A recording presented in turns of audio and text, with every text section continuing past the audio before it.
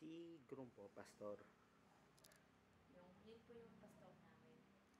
Head, head pastor na ba?